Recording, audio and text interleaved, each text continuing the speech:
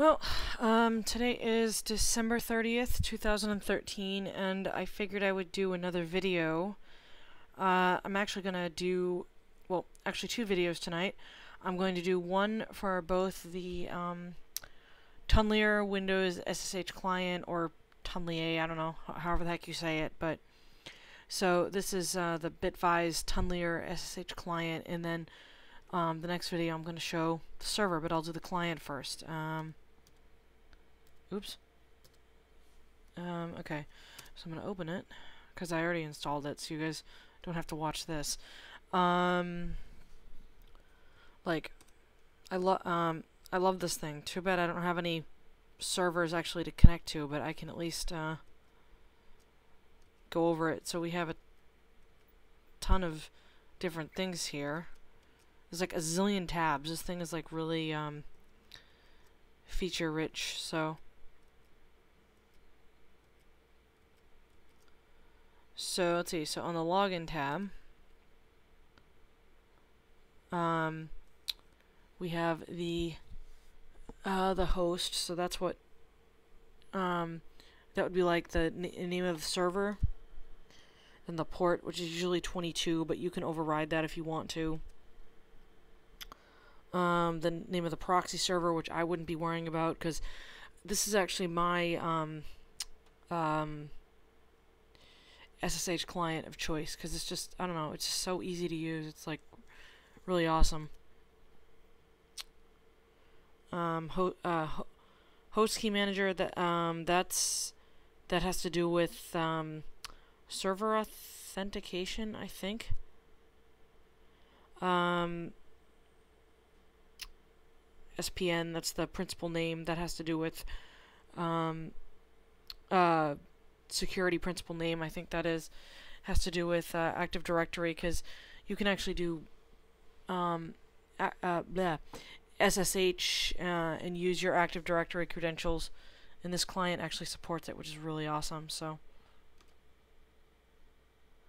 and then you can do um, SSPI Kerberos 5. That all depends on how you're logging in. And then you can um, choose the type of uh, method that the you know server will uh, try to use depending on what the server is configured as. You can configure that on the client. Then the password edit field, you can um, you can store an encrypted password in the profile, but right now that's unchecked. And then um, the user key pair manager, that's for um, that's for you, um, client authentication with the server that's using um, uh, public key authentication. And then that's just, um, and then you can log in. Then you can exit, you can um, load a profile, save a profile, which I don't have any at the moment, so. And we've got a bunch of options here. What's this? Um, you can say that's a reconnection timeout, so that's important. Like if you like lose the connection due to like the you know network going wonky or something, which can always happen. Um, show authentication banner, uh, log out when session activity is over. Um, you can tell it what to do. You can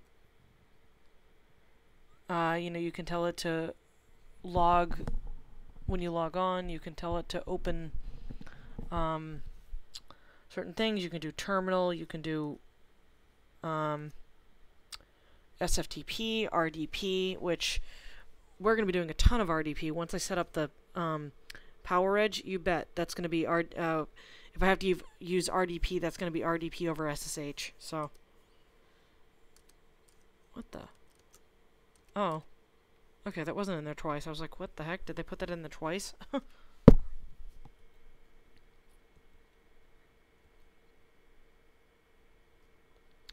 then, I don't, I don't know what, th what that is. Execute, uh, execute text? What the heck is that? I have no idea. And then there's, there's another thing that says execute, so I don't know what that is, guys. I'll have to look that up. and uh, I'll get back to you. uh, LSP, I think.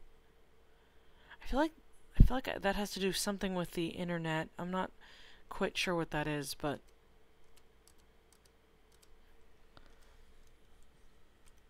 so you've got options,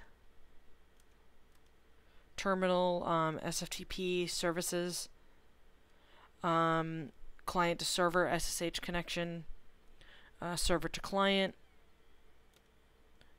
SSH, and then about. So let's look at the let's look at the terminal.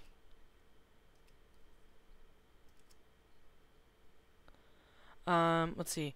So you can use Xterm, which is uh, most people using Xterm would be uh, either on uh, Unix or Linux or one of those. Um, so you can do um, Bvterm, which is uh, Bitvise terminal emulation, which that is just a Windows feature. That's like specifically for Windows. Um, according to uh, Rob Reynolds, developer of um, Chocolatey, he says that works really well um, with uh, PowerShell REPL, which is wonderful because I'll probably be doing PowerShell remoting over SSH as well. Uh, now, I have no idea how the heck I'm going to uh, set that up, but that's another video for another day. But anyway, I'm going to be doing that, and uh, so he says that works really well, hence why I downloaded this client, because it works for what I need to do.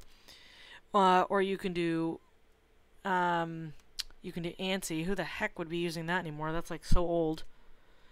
VT100, uh, that's another term, um, terminal emulation protocol. Um, uh, Xterm, like I said, is uh, the Linux, Unix, um, Cygwin, or Xterm 16 color. that's like 16 bit. Um, and then use Bvterm if available, so that's a good thing. Um, encoding UTF-8. I always just leave it at UTF-8. That's always like the safest thing to do. Uh, screen width is 80.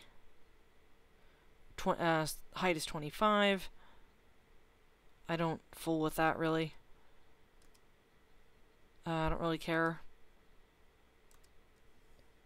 It will beeping. I don't know what the heck that is. Um, you can do X11 forwarding, which I certainly wouldn't be doing because that's like totally graphical and it wouldn't really be very useful for me. Uh, you can do uh, cursor keys. I'm not quite sure what that's for, but okay.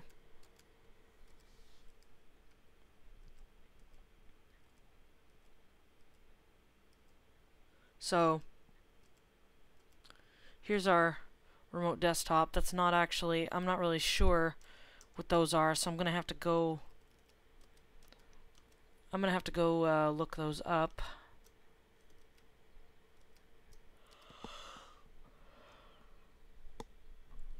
Oh, well, the computer name is pretty obvious, but some of the other ones on there aren't exactly obvious, so I'll have to take a look at that. Oh, yeah, and SFTP is, like, awesome. Oh, an SFTP has a really awesome feature that uh, where you can actually do SFTP bridge, so it can bridge a normal FTP connection um, and essentially turn it into secure FTP, which is Pretty cool.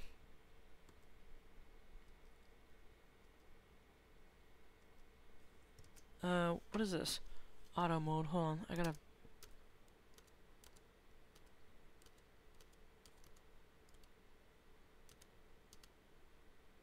Yeah, I'll leave it on default. I don't know what that is. Upload mode, what the heck? I have no idea what that is, so I'm gonna have to, uh, leave that at the default.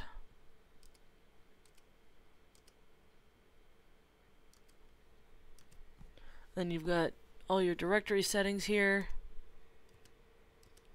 Um, You can do resumes, auto overwrite. Um,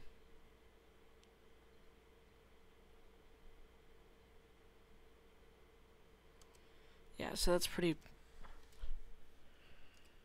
that's pretty awesome.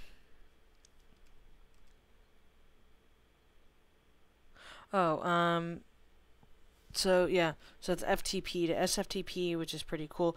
I'm not really sure what has to be done on the server side to set that up, but uh, good thing I won't have to worry about that because I'll be actually doing like actual FTP or uh, SFTP rather, so I won't have to worry about it.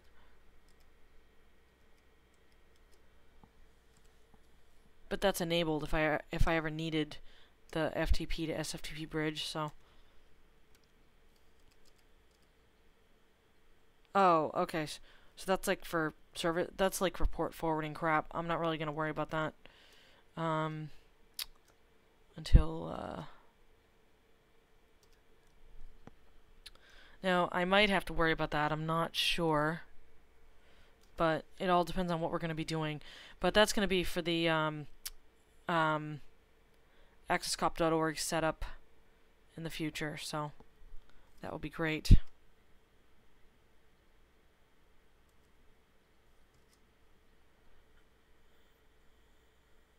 and then you can do encryption, different encryptions. You can do AES, Twofish, which I've never even heard of. Oh, sorry, AES 256, Twofish 256, AES 128, or Twofish 128. I'm not really sure the difference. Oh, Blowfish, I've heard of that. Um, ARC4, never heard of it. And I don't know what... Okay, that's really weird. Why would you even bother with an SSH connection that has no encryption? But okay. that's an option on here. You guys can see that. I don't know. I have no idea what's up with that, but okay.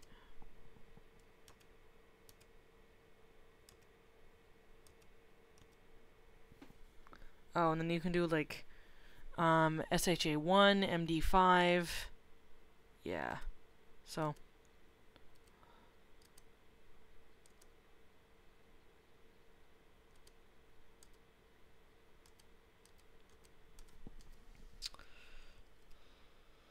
Oops. Yeah, so that's pretty cool. And then we just have the About tab, which is a license thing, which for what we're doing, um, I don't need a license because I'm not like in a business environment, so I don't need to activate it. You know, it's uh, free for anybody who's not like in a commercial environment, which we're not, so yeah, so uh, that's that's pretty much it. Um, yeah, so that is um, Tunnelier, aka Bitvise SSH client. So um, I'll be right back. I'm gonna do a video of uh, the server options now because um, yeah, or yeah, I'm gonna actually I'm gonna install that and then I'll um I'll show you guys that. So uh. I'll be back in a bit.